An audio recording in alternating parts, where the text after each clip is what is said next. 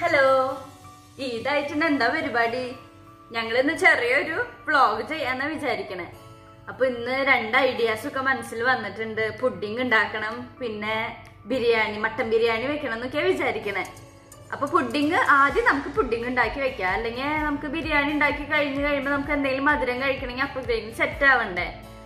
അപ്പോ ചേട്ടനാന്നാ പറഞ്ഞുള്ളത് ഇന്ന് പുഡിംഗ് ചേട്ടൻ ഉണ്ടാക്കാന്നാ പറഞ്ഞിട്ടുള്ളത്. അപ്പൊ നമുക്ക് ചേട്ടന് പുഡിംഗ് ഉണ്ടാക്കുന്നത് കാണാം. ആദ്യം ബൗളിലേക്ക് നമുക്ക് രണ്ട് നെസ്ലിന്റെ ക്രീം ഒഴിക്കാം.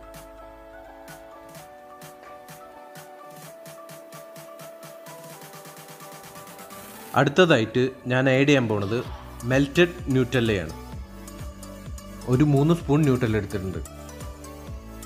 ഇനി നമുക്ക് ഇത് നല്ലോണം മിക്സ് ആക്കി കൊടുക്കാം. ഇത് നല്ലോണം മിക്സ് ആവണ വരെ നമ്മൾ അലക്കി കൊടുക്കണം കേട്ടോ.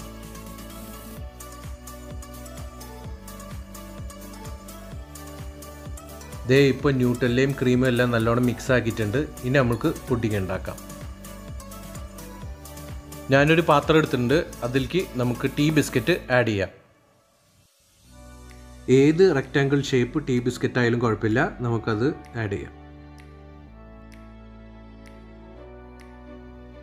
മൂന്ന് ലെയർ ആയിട്ടാണ് ഈ പുഡിങ് നമ്മൾ ഉണ്ടാക്കാൻ പോണേ. ഓരോ ലെയറിലും ഇതുപോലെ ബിസ്ക്കറ്റ് ഫില്ല് ചെയ്യണം. ബിസ്ക്കറ്റ് ഫില്ല് ചെയ്ത് കഴിഞ്ഞിട്ട് നമുക്കതിൽ ന്യൂട്ടല ഒഴിച്ചു കൊടുക്കാം. എന്നിട്ട് മൊത്തത്തിൽ സ്പ്രെഡാക്കി കൊടുക്കാം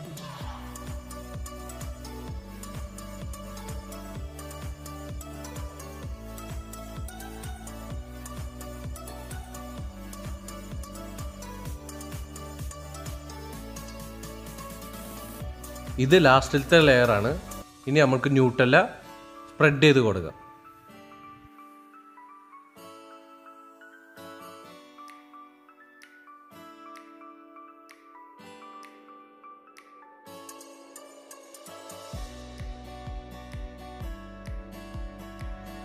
പുഡിങ് മൂന്ന് ലെയർ ഇട്ട് കഴിഞ്ഞു. ഇനി ഡെക്കറേറ്റ് ചെയ്യാൻ പൊടിച്ച ബിസ്ക്കറ്റും ജെംസും ആണ് ഞങ്ങൾ എടുക്കുന്നത്.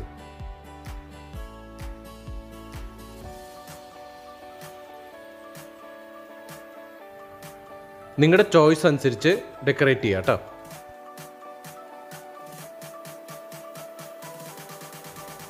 പുഡിങ് നല്ലോണം പാക്ക് ചെയ്തിട്ടുണ്ട്. ഇനി നമ്മൾക്ക് ആറ് മണിക്കൂർ ഫ്രിഡ്ജിൽ വെക്കാം. പുഡിങ്ങൊക്കെ റെഡിയാക്കി ഫ്രിഡ്ജിൽ വെച്ചിട്ടുണ്ട് കേട്ടോ ഇവിടെ ഒരാൾ ഞങ്ങളുടെ ഒരാൾ മൊബൈലിൽ ഇങ്ങനെ ഇരിക്കുന്നുണ്ട്. ഒന്നും ചെയ്യാണ്ട്. എന്താ? ബിരിയാണി ഉണ്ടാക്കണ്ടേ പത്തരയായി. ഞാൻ ദേ വാട്സപ്പ് ഒക്കെ നോക്കിയിരിക്കുന്നു ഇതിന്റെ മെസ്സേജും കാര്യങ്ങളൊക്കെ വന്നവർക്ക് റിപ്ലൈ കൊടുക്കണ്ട? ഞാൻ അതിന്റെ പണിയിലായിരുന്നു. ശരി. അപ്പൊ ബിരിയാണി ഉണ്ടാക്കണ്ടേ ബിരിയാണി ഉണ്ടാക്കണം പത്തരയായില്ലേ? ഇനി തുടങ്ങാം. എന്തായാലും നമ്മുടെ പിള്ളേർക്കും കൊടുക്കണ്ടല്ലേ അതന്നെ. അപ്പൊ പെട്ടെന്ന് ആയിക്കോട്ടെ. അപ്പൊ നമുക്ക് തുടങ്ങാം. ബിരിയാണി ഉണ്ടാക്ക. അപ്പൊ നമുക്ക് ആദ്യം അരി എടുക്കാം. ഞാൻ അഞ്ച് ഗ്ലാസ് അരി എടുക്കുന്നുണ്ട് കേട്ടാ. നമുക്ക് കൊടുക്കും വേണം. പിന്നെ രണ്ട് നേരം കഴിക്കണ്ടേ. അപ്പം അഞ്ച് ഗ്ലാസ് അരി ഞാൻ എടുക്കുന്നുണ്ട്. ഇപ്പം ഞാൻ ഇവിടെ എടുത്തിട്ടുള്ളത് ബസ്മതി റൈസ് ആണ്. അപ്പോൾ നമുക്ക് ആദ്യം തന്നെ അരിയൊക്കെ കുതിർക്കാൻ വെച്ച് കഴിഞ്ഞാൽ പിന്നെ ഈ മട്ടന്റെ കാര്യങ്ങളൊക്കെ നോക്കുമ്പോഴേക്കെങ്കിലും അത് കുതിർന്ന് കിട്ടുമല്ലോ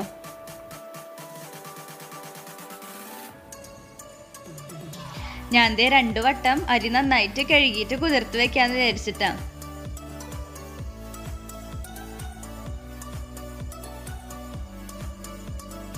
ഞാൻ ദേ രണ്ടു വട്ടം അരി നന്നായി കഴുകിയിട്ടുണ്ട് ഇനി നമുക്ക് കുതിർത്ത് വെക്കാം. അരി എപ്പോഴും ഒരു ഇരുപത് മിനിറ്റ് എങ്കിലും കുതിർത്ത് വെക്കണം കേട്ടോ ദേ മട്ടൻ ഇന്നലെ തന്നെ മേടിച്ച് വെച്ചിട്ടുണ്ടായിരുന്നു. അതുകൊണ്ട് ഞാൻ രാവിലെ എണീറ്റപ്പോൾ തന്നെ അത് ഫ്രീസറിൽ നിന്ന് പുറത്തെടുത്ത് വെച്ചു. അപ്പം അത് കാരണം എന്തേ ഒരുവിധമൊക്കെ ഐസ് വിട്ടിട്ടുണ്ട്. മട്ടന്റെ ഐസൊക്കെ നന്നായിട്ട് വിട്ടിട്ടുണ്ട്. ഇനി നമുക്ക് വിനീഗറും അതുപോലെ തന്നെ ഉപ്പും ഇട്ടിട്ട് നന്നായിട്ട് പരട്ടി വെക്കാം.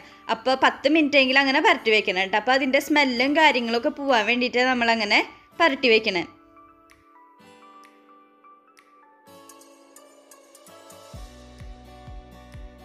ഇങ്ങനെ പരട്ടി വെച്ച് പത്ത് മിനിറ്റ് കഴിയുമ്പോൾ നമുക്ക് നന്നായിട്ട് വീണ്ടും വാഷ് ചെയ്തിട്ട് എടുക്കാം. നന്നായിട്ട് തന്നെ നമുക്ക് മിക്സ് ആക്കി കൊടുക്കാം. എല്ലാവരുടെയും ആ വിനീഗറിന്റെയും അതുപോലെ തന്നെ ഉപ്പൊക്കെ പിടിച്ചിട്ട് ആ സ്മെല്ലൊക്കെ പോട്ടെ. ഇനി നമുക്ക് സബോളയൊക്കെ അരിയാം. അപ്പം ഞാൻ ചോപ്പറിൽ വെച്ചിട്ടാട്ട അരിയണേ. അപ്പം നമുക്ക് വലിയ കഷ്ണങ്ങളാക്കിയിട്ട് അതിലേക്ക് നന്നായിട്ട് അരിയാം. അപ്പോൾ ചെറിയ കഷ്ണങ്ങളാക്കി കിട്ടുമല്ലോ അപ്പം അതിന് വേണ്ടിയിട്ട് ഈ ചോപ്പറിൽ അരിയണേ.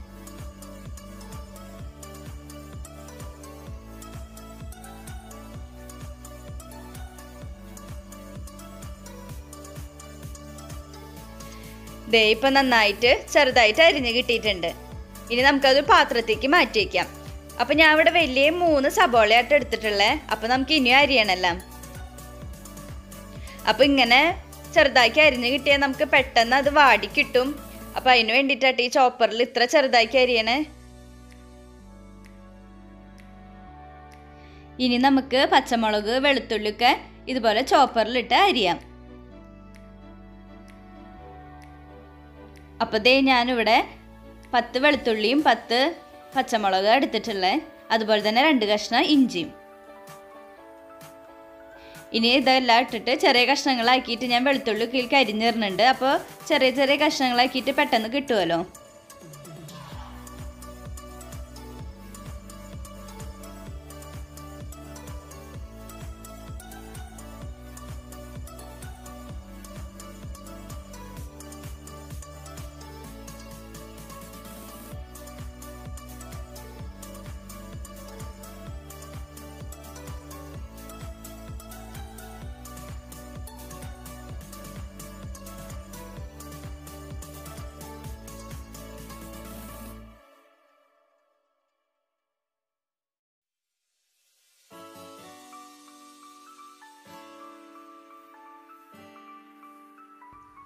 ഇഞ്ചിയും തേ നാല് കഷ്ണമായിട്ടാട്ടാ ഞാൻ ഇടണേ.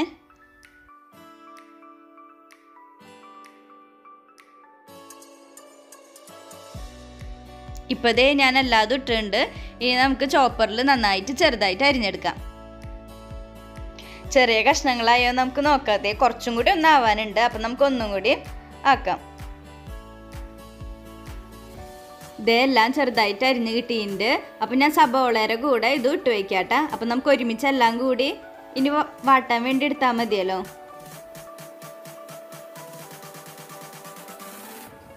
ഞാൻ ദേ രണ്ട് തണ്ട് വേപ്പില എടുത്തിട്ടുണ്ട്. കുറച്ച് നേരം നമുക്ക് വെള്ളത്തിലിട്ട് വയ്ക്കാം എനിക്ക് വേപ്പിലയുടെ സ്മെല്ലൊക്കെ ഭയങ്കര ഇഷ്ടമാട്ടോ അതുകൊണ്ട് ഞാൻ രണ്ട് തണ്ട് എടുത്തത്. നമ്മൾ നേരത്തെ പത്ത് മിനിറ്റ് സൊറക്കി കൊഴിച്ച് വെച്ചില്ലേ? ഇപ്പോൾ ഒരു പത്ത് മിനിറ്റ് ആയിട്ടുണ്ട്. ഇനി നമുക്ക് നന്നായിട്ട് അത് കഴുകിയെടുക്കാം.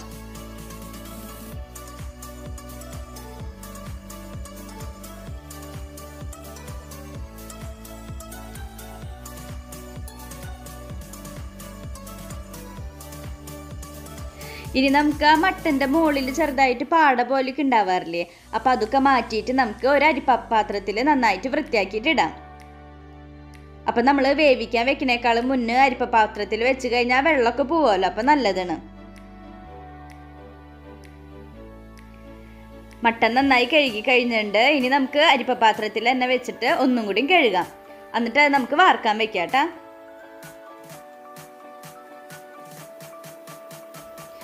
നന്നായിട്ട് കഴുകിയിട്ടുണ്ട്. ഇനി നമുക്ക് ഇങ്ങനെ കുറച്ചേരം ഇരിക്കട്ടെ കേട്ടോ. ആ സമയം നമുക്ക് അരി വേവിക്കാൻ വെക്കാം.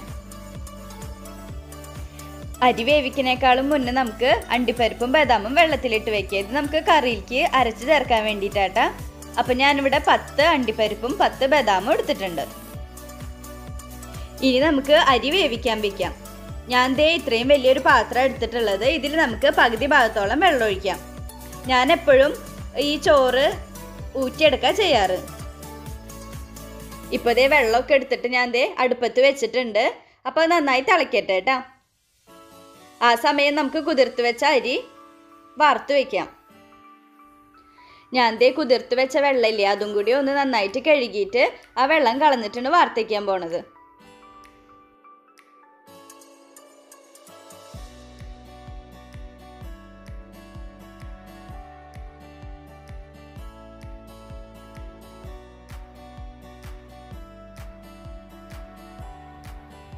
വെള്ളം ചെറുതായിട്ട് ചൂടായിണ്ട്. അപ്പോൾ നമുക്ക് അതിലേക്ക് ഈ മസാലകൾ ഗ്രാമ്പു ഏലക്കായ കറുകപ്പട്ട പിന്നെ അല്ല പെരിഞ്ചീരകം അങ്ങനെ നമ്മുടെ മസാലകളില്ലേ അതൊക്കെ നമുക്കൊന്ന് അതിലേക്ക് ഇട്ട് കൊടുക്കാം.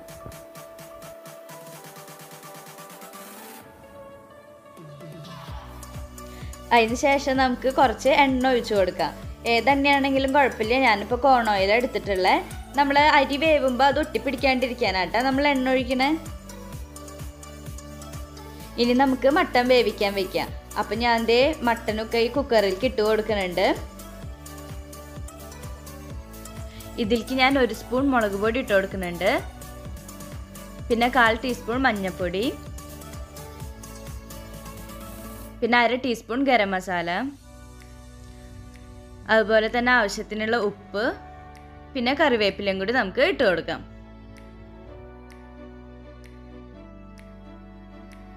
ഇനി പൊടികളെല്ലാം ഇട്ടിട്ട് നമുക്ക് നന്നായിട്ട് മിക്സ് ആക്കി കൊടുക്കാം. കൈകൊണ്ട് നന്നായി നന്നായിട്ട് എല്ലാവിടെയും എത്തുന്ന വിധത്തിൽ മിക്സ് ആക്കാം. നന്നായിട്ട് മിക്സ് ആക്കിയിട്ടുണ്ട്. ഇനി നമുക്ക് കുറച്ച് വെള്ളം ഒഴിച്ചു കൊടുക്കാം. മട്ടനിൽ വേവുമ്പോൾ വെള്ളം ഉണ്ടാവും. അതുകൊണ്ട് കുറച്ച് ഒഴിച്ചാൽ മതിട്ടാ ഇനി നമുക്ക് അടച്ചു വെക്കുക രണ്ട് വിസിൽ മതിയാവും സാധാരണ.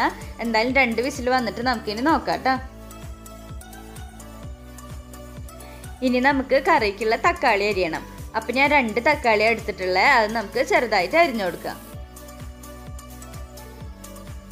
ഇനി നമുക്ക് ഉള്ളി നീളത്തിൽ അരിഞ്ഞിട്ട് കനം കുറഞ്ഞ നീളത്തിൽ അരിഞ്ഞിട്ട് നമുക്ക് ബിരിയാണിയിൽ ഇടാനും അതുപോലെ തന്നെ ഈ മട്ടൻ കറിയിൽ കുറച്ചിടാൻ വേണ്ടിയിട്ട് അരിയാം. സബോള അരിഞ്ഞു കഴിഞ്ഞിട്ടുണ്ട്. ഞാനിപ്പോൾ രണ്ട് സബോളയായിട്ട് ഇവിടെ എടുത്തിട്ടുള്ളത് അരി വേവിക്കാനുള്ള വെള്ളം നന്നായിട്ട് തിളച്ചിട്ടുണ്ട്. ഇനി നമുക്ക് അരി അതിലേക്ക് ഇട്ട് കൊടുക്കാം.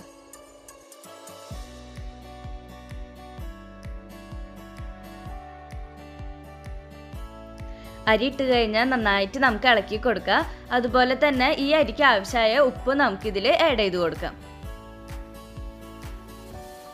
ദേ നമ്മുടെ മട്ടൻ വെന്തുണ്ട്. രണ്ട് വിസിൽ തന്നെ മതിയായിരുന്നു കേട്ടോ. ഇനി നമുക്ക് മട്ടൻ കറി ഉണ്ടാക്കാൻ തുടങ്ങും. അപ്പം ഞാൻ അടുപ്പത്തൊരു പാത്രം വെച്ചിട്ടുണ്ട്. അതിലേക്ക് നമുക്ക് ഓയിൽ ഒഴിച്ചു കൊടുക്കാം. ഞാനിവിടെ കോൺ ഓയിൽ എടുത്തിട്ടുള്ളത് നിങ്ങൾക്ക് ഇഷ്ടമുള്ള ഒരു ഓയിൽ എടുത്തിട്ട് അത് ഒഴിച്ചു കൊടുക്കാം. നന്നായി ചൂടായതിന് ശേഷം നമുക്ക് ഈ അരിഞ്ഞു വെച്ച സബോളയും പിന്നെ വെളുത്തുള്ളിക്കില്ലേ അതൊക്കെ കൂടി അതിലേക്ക് ഇടാം. എണ്ണ നന്നായി ചൂടായിട്ടുണ്ട് അപ്പോൾ നമുക്ക് സബോളക്ക് ഇട്ട് കൊടുക്കാം. എന്നിട്ട് നന്നായി ബ്രൗൺ കളർ ആവണ വരെ നമുക്ക് വഴറ്റി കൊടുക്കാം.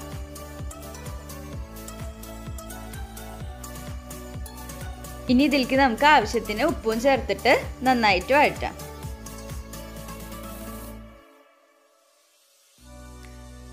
സബോള നല്ല ബ്രൗൺ കളർ ആയിട്ട് ഇനി നമുക്ക് പൊടികൾ ഇട്ട് കൊടുക്കാം. അപ്പം ഞാൻ രണ്ട് സ്പൂൺ മുളക് പൊടി ഇട്ട് കൊടുക്കുന്നുണ്ട്. പിന്നെ കാൽ ടീസ്പൂൺ മഞ്ഞൾപ്പൊടി പിന്നെ ഒരു ടീസ്പൂണോളം ഗരം മസാല. ഈ മസാലകൾ കിട്ടുക കഴിഞ്ഞിട്ട് നന്നായിട്ട് നമുക്ക് ഇളക്കി കൊടുക്കുക ആ മസാലകളുടെ പച്ചമണം മാറണ വരെ നമുക്ക് ഇളക്കി കൊടുക്കാം. മസാലയുടെ പച്ചമണമൊക്കെ മാറിയിട്ട് ഇനി നമുക്ക് അരിഞ്ഞു വെച്ച തക്കാളിയിലേക്ക് ഇട്ട് കൊടുക്കാം. തക്കാളി ഇട്ടിട്ട് നന്നായിട്ട് ഇളക്കുക. അത് നന്നായിട്ട് ഉടച്ചിട്ട് അതിലേക്ക് ഇങ്ങനെ മിക്സ് ആവണ വരെ നന്നായിട്ട് ഇളക്കി കൊടുക്കുക. വേപ്പല ഇട്ട് കൊടുക്കാൻ മറന്നുപോയി. അപ്പോൾ നമുക്ക് വേപ്പലയിലേക്ക് ഇട്ട് കൊടുക്കാം. തക്കാളിയൊക്കെ നന്നായിട്ട് മിക്സ് ആയിട്ടുണ്ട്. ഇനി നമുക്ക് ഇതിലേക്ക് തൈര് ആഡ് ചെയ്ത് കൊടുക്കാം. ഞാൻ രണ്ട് സ്പൂൺ തൈര് എടുത്തുള്ളത് ഇവിടെ ഉള്ളത് ഇപ്പോൾ പുളിയില്ലാത്ത തൈരാട്ടാ. അപ്പോൾ നിങ്ങളുടെ കയ്യിൽ പുളിയുള്ള തൈരാണെങ്കിൽ അതിനനുസരിച്ച് ഇട്ട് കൊടുക്കാം. ഇത് നന്നായിട്ട് മിക്സ് ആക്കാം. ഇതിൽക്കിന് നേരത്തെ നമ്മൾ വെള്ളത്തിലിട്ട് വെച്ചിട്ടുണ്ടായിരുന്നില്ലേ? ബദാമും അണ്ടിപ്പരിപ്പും. അപ്പോൾ ബദാമിന്റെ തൊലി കളഞ്ഞിട്ട് വേണ്ട എടുക്കാൻ ആ നന്നായിട്ട് അരച്ചിട്ട് നമുക്കത് ഇതിലേക്ക് ആഡ് ചെയ്ത് കൊടുക്കാം. ഈ കറിക്ക് നല്ല കട്ടി കിട്ടാൻ വേണ്ടിയിട്ടാട്ടാ നമ്മൾ അണ്ടിപ്പരിപ്പും ബദാമും ചേർക്കണേ. ഇനി നന്നായിട്ട് മിക്സ് ആക്കി കൊടുക്കുക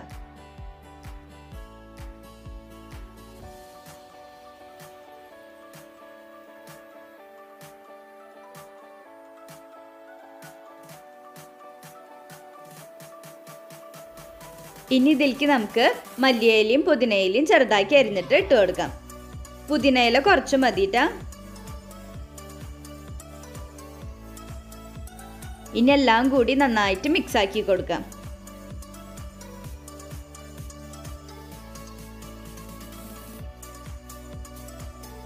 നേരത്തെ അരിഞ്ഞു വെച്ച സബോളയും അതുപോലെ തന്നെ കുറച്ച് അണ്ടിപ്പരിപ്പും ഞാൻ നന്നായിട്ട് വറുത്തെടുത്തിട്ടുണ്ടായിരുന്നു. അപ്പം നമുക്ക് ഈ കറിയിലേക്ക് കുറച്ചൊരു പിടി സബോള ഇട്ട് കൊടുക്കാം.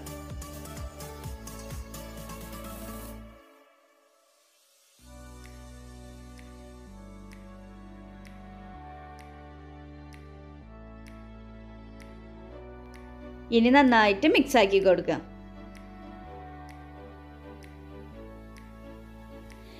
ഇനി നമുക്ക് വേവിച്ച് വെച്ച മട്ടനയിലേക്ക് ഒഴിച്ചു കൊടുക്കാം. അപ്പോൾ ചാറോട് കൂടി ഒഴിച്ചു കൊടുക്കാം. അപ്പോൾ അതിൽ കിടന്ന് നമുക്ക് ആവശ്യത്തിനനുസരിച്ചിട്ട് വറ്റിച്ചെടുക്കാം.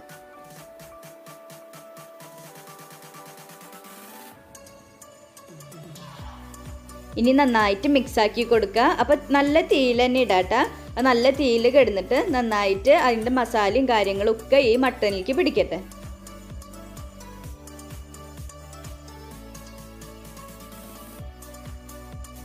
ദേ നമ്മുടെ മട്ടൻ കറി മുക്കാ ഭാഗത്തോളം റെഡി ആയിട്ടുണ്ട്. ഇനി നമുക്ക് ദം ബിരിയാണി ഉണ്ടാക്കാം. അതിന് വേണ്ടിയിട്ട് ഞാൻ ദേ വലിയൊരു പാത്രം എടുത്തിട്ടുണ്ട്. ഇതിന്റെ അടിയിൽ നമുക്ക് ചപ്പാത്തിക്കല്ലോ അല്ലെങ്കിൽ ദോശക്കല്ലില്ലേ നല്ല കട്ടിയുള്ള ഏതെങ്കിലും ഒരു പാത്രം വെക്കാം.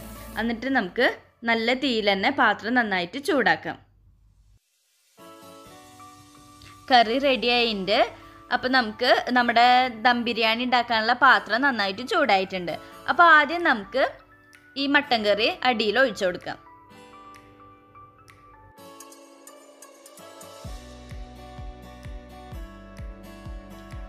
ഞാൻ ദേ കറി അടി ഏറ്റവും അടിയിൽ ഒഴിച്ചു കൊടുത്തിട്ടുണ്ട്. ഇനി നമുക്ക് അതിന്റെ മുകളിൽ ചോറിടാം.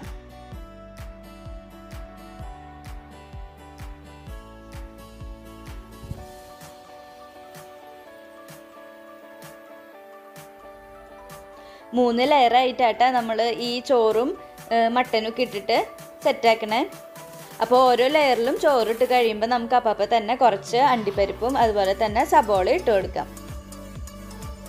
ഈ ദം ബിരിയാണി ഉണ്ടാക്കുമ്പോൾ ഒരു ഇതൊക്കെ സെറ്റാക്കി കഴിഞ്ഞ് ഒരു ഇരുപത് മിനിറ്റ് നമുക്ക് ചെറു ചൂടിൽ തന്നെ വെക്കണം. ഇനി ചോറിനെ ഒരു നല്ല മഞ്ഞ കളർ കിട്ടാൻ വേണ്ടിയിട്ട് നമുക്ക് പാലിൽ കുറച്ച് മഞ്ഞപ്പൊടി മിക്സ് ആക്കിയിട്ട് ഒന്ന് ജസ്റ്റ് ഇങ്ങനെ എല്ലായിടത്തേക്കും ഒന്ന് ഒഴിച്ചു കൊടുക്കാം.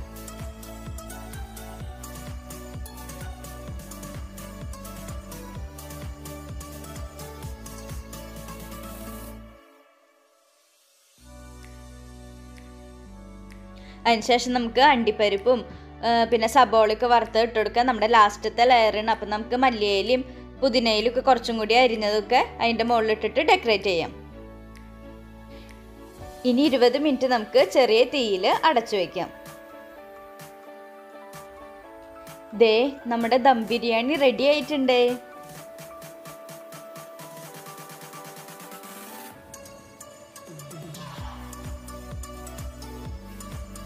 ഇന്ന് ഈദല്ലേ?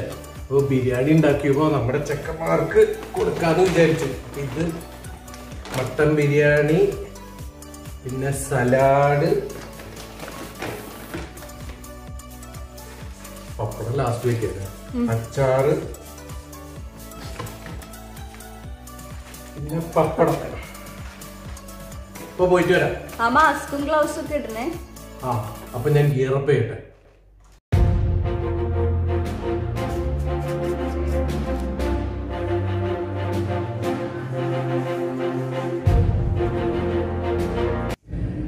അപ്പൊ നമ്മൾക്ക് ചെക്കന്മാരുടെ അടുത്തേക്ക് പോവാട്ടോ.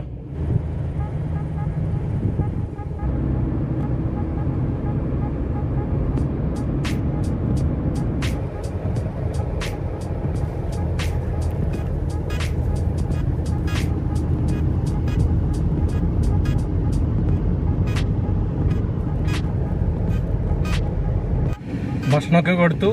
അവരും ഹാപ്പി ഞാനും ഹാപ്പി ഇനി ഞാൻ വീട്ടിലേക്ക് പോവാട്ടാ. Two hours later. ബിരിയാണി ഒക്കെ കഴിച്ച് ക്ഷീണിച്ചിരിക്കുന്നത് അതന്നെ ഞാൻ നമ്മുടെ ചെക്കന്മാർക്ക് ഭക്ഷണം കൊടുക്കാൻ പോയി. തിരിച്ചു വന്നപ്പോഴേക്കും ഭയങ്കര വിശപ്പ്. അപ്പൊ പിന്നെ വീഡിയോ എടുക്കുന്ന കാര്യം തന്നെ ഞങ്ങൾ ഞാൻ പറഞ്ഞു നല്ല തീറ്റയായിരുന്നു. എന്താ ബിരിയാണി എങ്ങനെ ഉണ്ടായിരുന്നു ബിരിയാണി സൂപ്പർ അല്ലേ? ശ്ശോ, എന്താ ചെയ്യാ? പക്ഷെ കുഴപ്പമുണ്ടായിരുന്നില്ല കേട്ടോ ബിരിയാണി നന്നായിണ്ടായിരുന്നു പക്ഷെ പോലെ ഇല്ല കേട്ടോ ബിരിയാണി ടേസ്റ്റ് ഉണ്ടായിരുന്നു. മട്ടൻ നല്ല മട്ടനായിരുന്നു. നല്ല വേവൊക്കെ ഉണ്ടായിരുന്നു അതുകൊണ്ട് പിന്നെ കുഴപ്പമൊന്നും ഉണ്ടായില്ല. ഇനി നമുക്ക് ഫ്രിഡ്ജിൽ ഒരാൾ ഇരിക്കുന്നില്ലേ. റെഡി ആയിണ്ടാവും. ഇപ്പൊ ഒരു ഒരു ആറു മണിക്കൂർ ആയിട്ടുണ്ടാവും. എന്തായാലും നമുക്ക് അത് തുറന്നു നോക്കാം. തുറന്നു നോക്കാം എങ്ങനെ ഉണ്ടാവാവോ? എങ്ങനെ തുറക്ക?